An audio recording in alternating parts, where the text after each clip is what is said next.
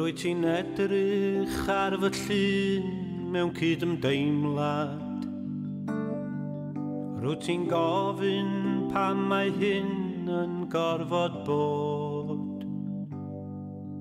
Rwy ti'n colli ambell ddeigrin o dasturi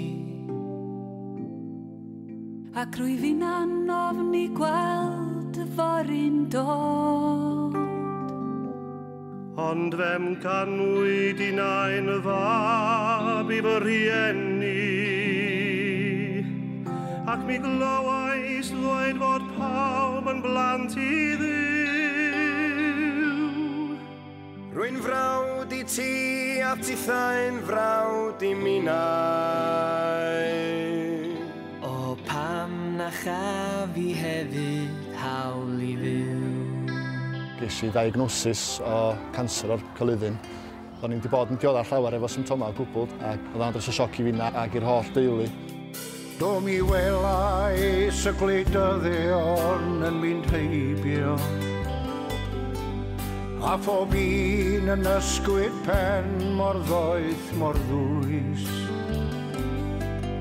Ac mi welai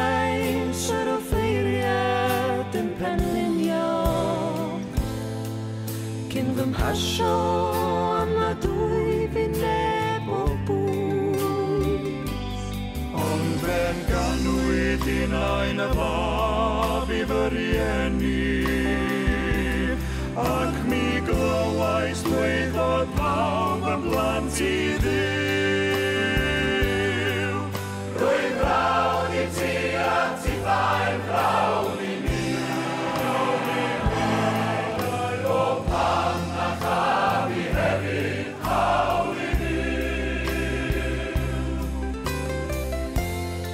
o'r cychwyn cyntaf ar ni benderfynu fel teulu bod rhaid ni fod yn bositif. Edrych ar yr ochr dda o bywyd hefyd, lle. a wneud yn fawr o bob peth bach, mwynhau be fedra ni. A dwi'n gobeithio bod hynny wedyn yn mynd i dylanwadu ar bobl eraill i fedru cadw'n bositif i hynna'n lle a gobeithio os dwi'n cael effaith ar un neu ddau o bobl a'r newid i agwedd nhw tuag at bywyd. Fel dwi'n meddwl bod o'n llwyddiant. Nos a mam yn bore Yn gadael i na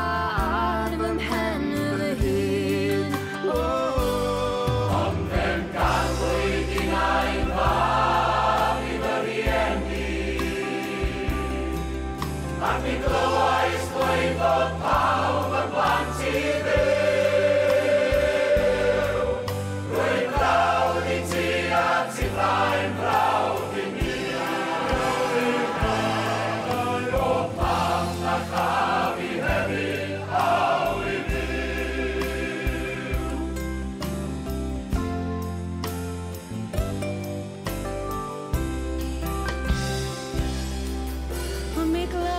straen sôn am fynydd menyn. Ac mi glywai straen sôn am lynoedd llaeth. Ond mi wna fyddech chi sy'n gristion ogion Yn caniatau gwastraffu bwyd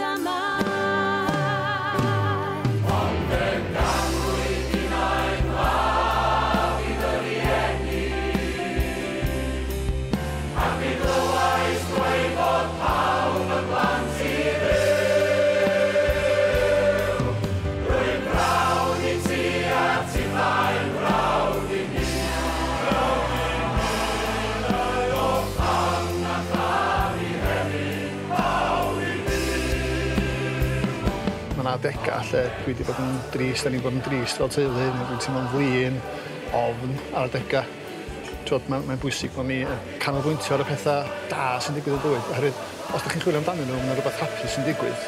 Trwy dydd, bob dydd.